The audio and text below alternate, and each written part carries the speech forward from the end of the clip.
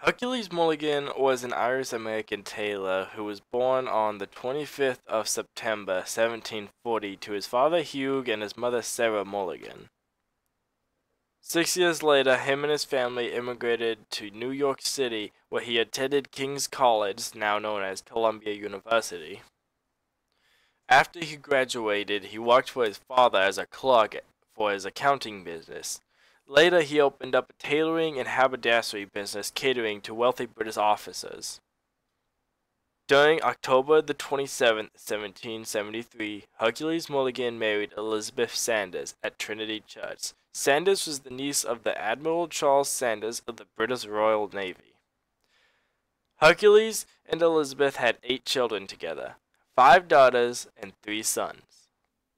Mulligan met Alexander Hamilton shortly after Hamilton arrived in New York City. Mulligan's brother Hugh introduced them to each other.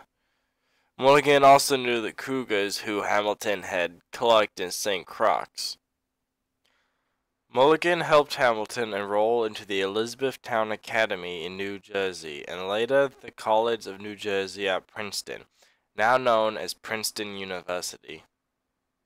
The two moved in together in New York City after Hamilton enrolled into King's College. Hamilton's thirst for revolution was greatly impacted by Mulligan.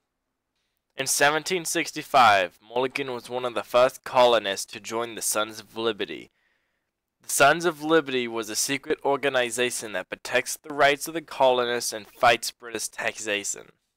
He was also a member of the New York Committee of Correspondence, a group that rallied opposition to the British through written communications. In August 1775, Mulligan and the Corsicans, under fire from the HMS Asia, raided four British cannons in the battery. In 1773, Mulligan and the Sons of Liberty knocked down a statue of King George III in Bowling Green, and then they used the lead in the middle to use against the British themselves. That's America for you. While staying with the Mulligan family, Alexander Hamilton came to share Mulligan's views. He originally sides with the British before coming to America. Mulligan changed his mind, and Hamilton joined the Sons of Liberty too. As a result, Hamilton wrote an essay in 1775 in favor of independence. In 1776, since Mulligan was a tailor for British soldiers, when George Washington spoke of his need for reliable information, Hamilton recommended Mulligan, which in turn saved Washington's life on two different occasions. The first occurred when a British officer ordered a watch coat one evening, he bragged about it to Mulligan, saying, Before another day, we'll have the rebel general in our hands. Then Mulligan quickly told Cato, his slave, to go inform Hamilton, who was at the time Washington's Secretary of Treasury, and therefore avoiding his death. The second time Mulligan saved Washington's life was two years later, in February 1781. Sir Henry Clinton, a British general, learned of Washington's plan to travel to Rhode Island via the Connecticut shoreline. Clinton had ordered 300 troops and transport boats to intercept Washington. And who was responsible for loading these boats? With provisions for the journey? None other than Hugh, Hercules' older brother. Hugh promptly advised Hercules of the plan. Hercules dispatched Cato, and Washington immediately rerouted his course and arrived safely in New England. Hercules and Cato both had their scars from the war. Cato was captured and beaten on a return trip to New York after passing information to Washington, and Hercules was put in jail after a suspicion from the British, but not before long he used his Irish charm to get out.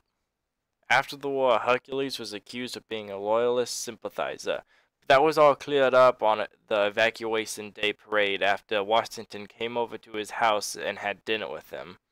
After Washington became president, he continued to update his wardrobe at Hercules' shop, and Mulligan changed the sign outside to say, Clother to General Washington.